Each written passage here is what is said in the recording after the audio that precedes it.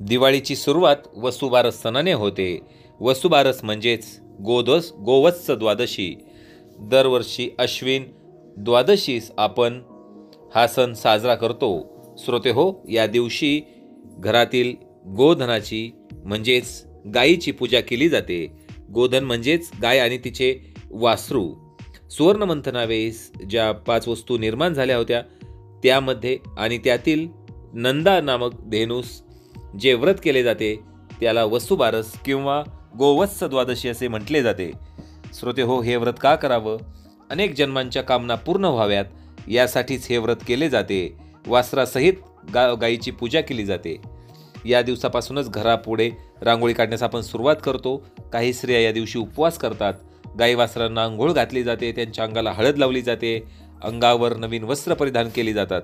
त्यावर्षी गहू आणि मूग खात नाहीत. स्त्रिया या दिवशी बाजरीची भाकरी आणि गवारीच्या शेंगांची भाजी करून उपवास सोडतात. भरपूर कृषी उत्पादन व्हावं आपल्या मुलांना चांगलं आरोग्य मिळावं यासाठी ही पूजा केली जाते. या दिवशी संध्याकाळी घरातील तुळशीपुढे दारापुढे परिसरामध्ये दिवाळी सणाच्या प्रारंभानिमित्त आपण पंत्या लावून रोषणाईसुद्धा करत असतो. श्रोते हो वसू या शब्दाचे अनेक अर्थ सांगितले जातात. वसू म्हणजे सूर्य वसू म्हणजेच कुबेर आणि वसू म्हणजेच धन पैसा. आणि सर्वात महत्त्वाचा आध्यात्मिक अर्थ आहे वसू म्हणजे सर्वांमध्ये वास करणारा.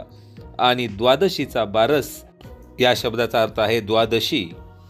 तर या वसुबारसच्या सायंकाळी आपण गायीचे तिच्या पिल्लासहित पूजा करतो. सौभाग्यवती स्त्रिया या सणादिवशी वासरासह उभे असलेल्या पिल्लाचा सन्मान म्हणून गाईला आणि वासराला पुरणपोळाचं नैवेद्य खाऊ घालतात.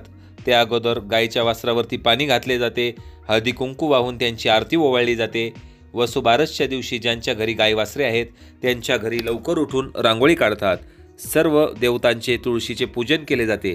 काही ठिकाणी दूध तसेच दुधाचे पदार्थ देखील खाल्ले जात नाहीत. वसुबारस म्हणजेच दिवाळीची सुरुवात आणि म्हणून पुरणपोळीचे जेवण या दिवशी बनवले जाते.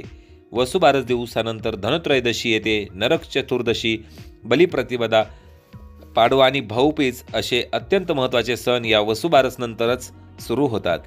त्याचबरोबर या बरोबर दूध जन्य पदार्थ वापरण्यास सक्त मनाई हिंदू धर्मशास्त्राने केलेली आहे. अनेक लोक या दिवशी श्रीकृष्णाच्या नावाचा जपसुद्धा करतात. अनेक प्रकारचे मंत्र श्लोक या दिवशी त्याचा पाठ केला जातो. तसेच ज्या जोडप्यांना मूलबाळ होण्याची इच्छा आहे ते सुद्धा या दिवशी उपवास ठेवतात. महाराष्ट्रासह गुजरात दक्षिण भारतात काही भागात वसुबारस मोठ्या उत्साहाने साजरी केली जाते. महाराष्ट्रातील तिला वसुबारस किंवा गोवत्स द्वादशी असे म्हणतात. तर दक्षिण भारतात या सणाला नंदिनी व्रत म्हणून साजरे करतात. श्रोते हो या दिवशी देवी लक्ष्मी जी संपत्तीची देवी आहे ती गोमातेचे रूप धारण करते आणि म्हणूनच लोक गो मा देवीचे आशीर्वाद प्राप्त करण्यासाठी गायीची पूजा करताना आपल्याला दिसून येतात. तर श्रोते हो वसुबारसविषयीची ही माहिती आपल्याला कशी वाटली हे मला कमेंट्समध्ये सांगायला विसरू नका. आपल्या सर्वांना वसुबारसच्या आणि दिवाळीच्या हार्दिक शुभेच्छा. श्रोते हो व्हिडिओ आवडला असेल तर लाईक करा. भेटूया लवकर पुढील व्हिडिओ